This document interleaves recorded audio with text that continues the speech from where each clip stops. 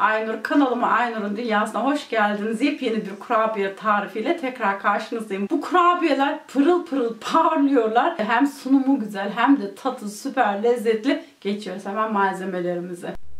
Bir su bardağı pudra şekerim var. 125-130 gram tereyağı veyahut da yumuşak margarin. 3 yemek kaşığı kakao, 1 adet yumurta, yarım çay bardağı sıvı yağ, 1 paket vanilya şekeri ve alabildiği kadar un. Ayrıca toz şekerine ihtiyacımız var. Bu hamurun içerisine girmiyor. Yoğurma kabımın içerisine öncelikle sıvı yağ, margarin ve vanilya şekerini alıyorum. Yumurtanın sarısını hamurun içerisine katıyoruz. Beyazını ayırıyorum. Beyazı bize sonradan lazım olacak. Diğer malzemeleri de ilave edip hamurumu yoğurmaya başlıyorum.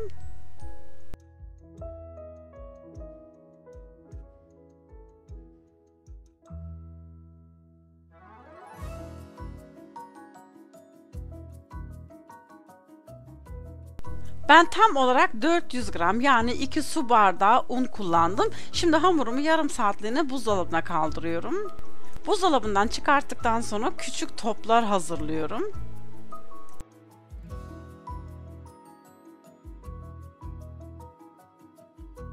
Hazırlamış olduğum toplara aslında önce yumurta akına sonra şekere bulayacaktım ama hiç gerek kalmadı. Gördüğünüz gibi yumurta akına bulamadan da şekerler hamurun üzerinde çok güzel e, tutundu diyeyim. Şimdi parmağımla bir oyuk açıyorum ortasına topların.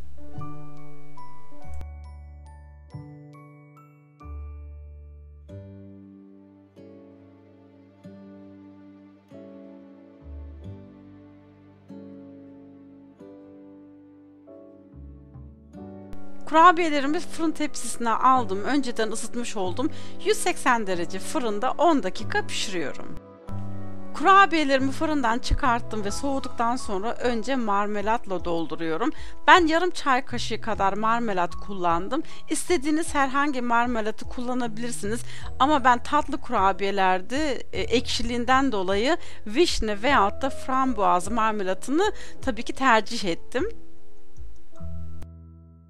Şimdi marmelatların üzerine benmari usulü eritmiş olduğum çikolatayı koyuyorum. Ben yarım çay kaşığı kadar kullandım. Siz isterseniz bitter çikolata kullanabilirsiniz. Normal çikolata veyahut da beyaz çikolata da kullanabilirsiniz.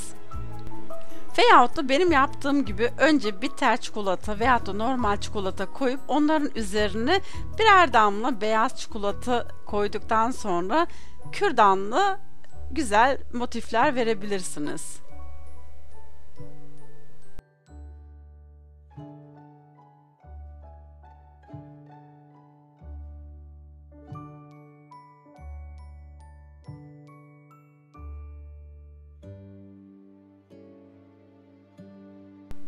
Ve pırıl pırıl parlayan ortası çikolata motifli kurabiyelerimiz servise hazır.